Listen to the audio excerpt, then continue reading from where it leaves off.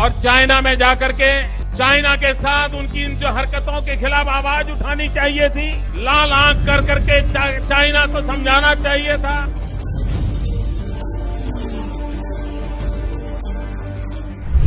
Our hand of friendship is stretched out to all.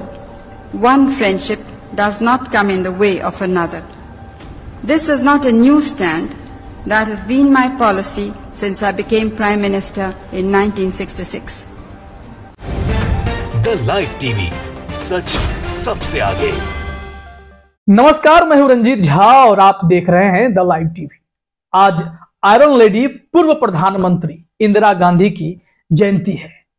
एक ऐसी कद्दावर प्रधानमंत्री जो अपने स्ट्रॉन्ग डिसीज़न के लिए हमेशा मशहूर रही।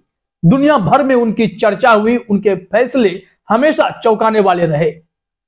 और आज के संदर्भ में इंदिरा गांधी को इसलिए याद करना बहुत ज़रूरी है, क्योंकि आठ सालों से भारतीय जनता पार्टी सत्ता में है। प्रधानमंत्री मोदी चीख चीख कर चीन को कभी लाल आँख दिखाने की बात करते हैं तो कभी अमेरिका से अपनी दोस्ती की दुहाई देते नज़र आते हैं, लेकिन समय समय पर अमेरिका भी उन्हें झटका देता रहता है।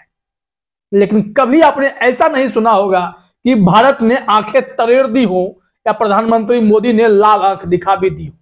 हाल ही में यह वीडियो भी आपने देखा कि कैसे जी ट्वेंटी समिट के दौरान चीन के राष्ट्रपति शी जिनपिंग को देखते ही लपक कर प्रधानमंत्री मोदी उठते हैं और हाथ मिलाते हैं, जैसे लगता है करे भाई, कितने दिनों के बिछड़े हुए थे। जबकि बात तो लाल आँख दिखाने की हुई थी, वो दिखा नहीं पाए, लेकिन उसी जी ट्वेंटी में घटना यह भी घटी कि कनाडा के प्रधानमंत्री जस्टिन ट्रूडो ने चीन के राष्ट्रपति शी जिनपिंग को लाल आँख दिखाई थी। तो क्या भारत के प्रधानमंत्री नरेंद्र मोदी ऐसा नहीं कर सकते थे? इतने कड़े शब्दों में, कड़े लहजे में सवाल नहीं पूछ सकते थे, ऐसा तो हुआ नहीं। इसलिए आज इंदिरा गांधी की चर्चा ज़रूरी है। इंदिरा गांधी ने अमेरिकी राष्ट्रपति के मुँह पर कहा था कि भारत किसी का पिछलग्गू नहीं है। सबके सोचने का अपना अपना नज़रिया होता है। हर देश का अपना पॉइंट ऑफ़ व्यू होता है और एक देश दूसरे देश के पॉइंट ऑफ़ व्यू का सम्मान करे। उन्होंने अमेरिकी राष्ट्रपति के मुँह पर ऐसा कहा था। हम आपको वो वीडियो भी दिखाते हैं।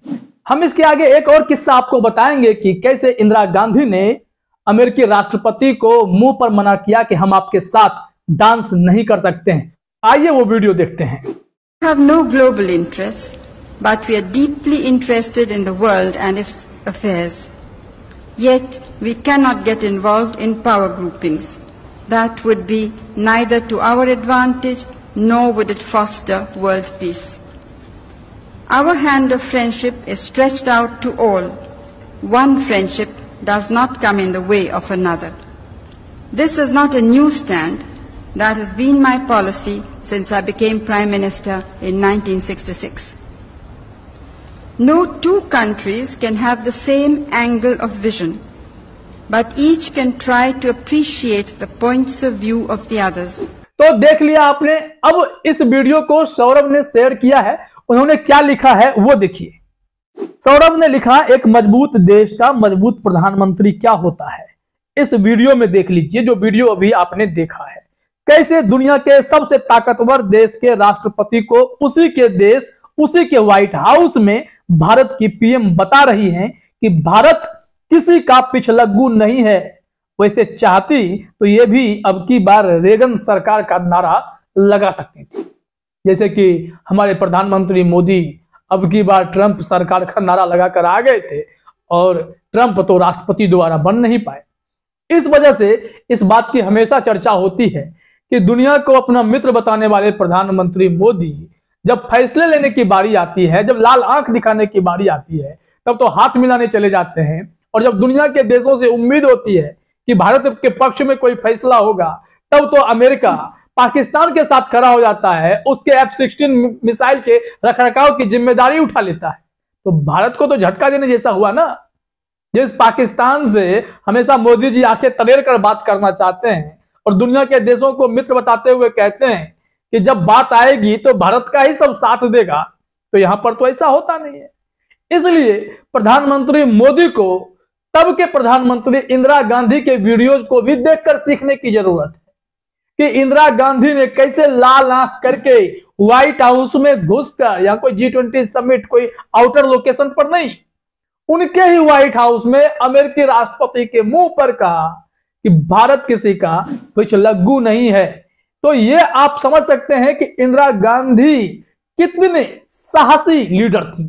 एक ऐसी कद्दावर प्रधानमंत्री जिनके फैसले, जिनके निर्णय ने हमेशा से दुनिया के देशों को आश्चर्यचकित किया, चौंकाया और इंदिरा गांधी पर फोकस करने पर मजबूर किया।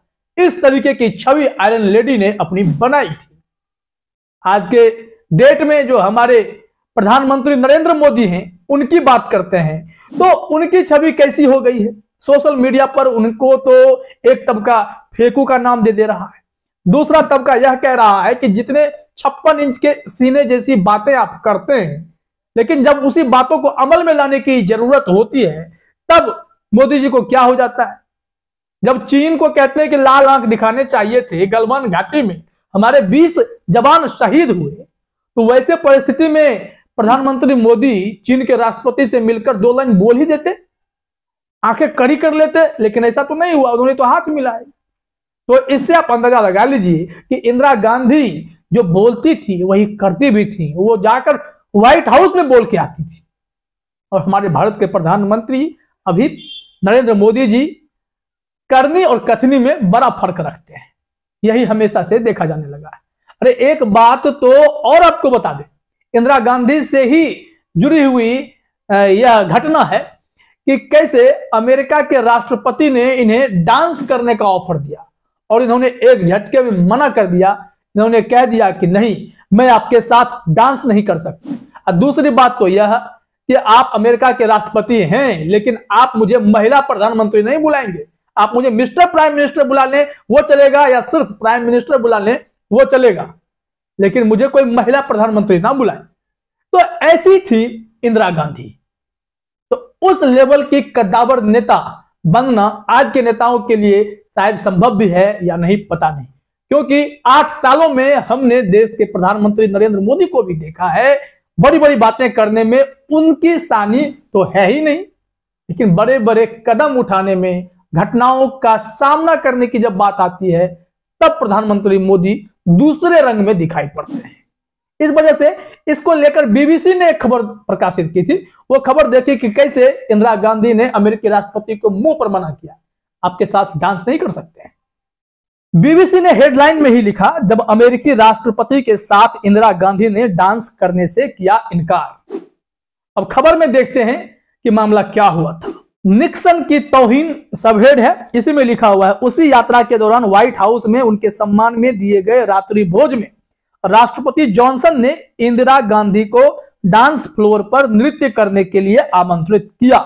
इंदर मल्होत्रा, इंदिरा गांधी की जीवनी, Indira Gandhi a personal and political biography में लिखते हैं। इंदिरा गांधी हालाँकि अपने छात्र जीवन में पश्चिमी तरीके का बॉल डांस किया करती थी, लेकिन उन्होंने जॉनसन के इस अनुरोध को यह कहते हुए स्वीकार नहीं किया कि उनके देशवासियों को यह पसंद नहीं आएगा कि उनके प्रधानमंत्री बॉल रूम में डांस करे। अब देखिए, निक्सन के साथ क्या हुआ था? रात्रि भोज वाला मामला है कि घटना के चार साल बाद की कहानी बताई जा रही है कि चार वर्ष बाद इंदिरा गांधी संयुक्त राष्ट्र के 25वें सम्मेलन में भाग लेने न्यूयॉर्क गई। वहाँ कई देशों के राष्ट्राध्यक्ष पहुँचे हुए थे। भारतीय दल को अखबारों से पता चला कि अमेरिकी राष्ट्रपति रिचर्ड निक्सन ने सभी राष्ट्राध्यक्षों को व्हाइट हाउस में रात्रि भोज पर बुलाया है। फिर नटवर सिंह अपनी किताब हार्ट टू हार्ट में लिखते हैं। अगले दिन अमेरिका में हमारे राजदूत लक्ष्मीकांत झा वाशिंगटन से न्यूयॉर्क पहुँचे। उन्होंने इंदिरा गांधी से पूछा कि वो निक्सन के रात्रि भोज में शामिल होने कब वाशिंगटन पहुँच रही है? इंदिरा का जवाब था, उन्हें तो आमंत्रित नहीं किया गया है। झा उन्हें समझाने लगे कि उनके वहाँ न जाने से गलत संदेश जाएगा। इंदिरा गांधी ने कहा कि अगर निक्सन चाहते तो मुझे दिल्ली में अमेरिकी राजदूत के ज़रिए भोज का औपचारिक निमंत्रण भिजवा सकते थे। इंदिरा गांधी नहीं मानी और उस भोज से अलग रहने के अपने फैसले पर कायम रही। अब बताइए कि आज के तारीख में प्रधानमंत्री मोदी को कोई ऐसा भोज का निमंत्रण दे देगा? कहीं से भी घूम के आ गया तो उसकी पब्लिसिटी हो जाएगी। सोशल मीडिया पर वो छा जाएँगे करे इनको तो बुलाया गया। वो भी डायरेक्टली बुलाए या ना बुलाए? राजदूत के कहने पर भी चले जाएँगे। लेकिन इंदिरा गांधी ने अपने स्वाभिमान का हवाला दिया कि निक्सन चाहते तो उन्हें निमंत्रण दे सकते थे। मैं बिन बुलाए कैसे पहुँच जाऊँ? और फिर इससे पता चलता है कि वो कितनी साहसी और आयरन लेडी के नाम से यूँ ही नहीं जानी गई। इंदिरा गांधी की आज जयंती है और इंदिरा गांधी से जुड़े ये दिलचस्प किस्से आपके अंदर जोश भरने के लिए काफ़ी हैं कि कैसे वह देश को नेतृत्व करती थी और आज के नेताओं को उनसे कितना सीखने की ज़रूरत है। फ़िलहाल इस वीडियो में इतना ही। आप सभी का हमसे जुड़ने के लिए बहुत बहुत धन्यवाद द लाइफ टीवी सच सबसे आगे।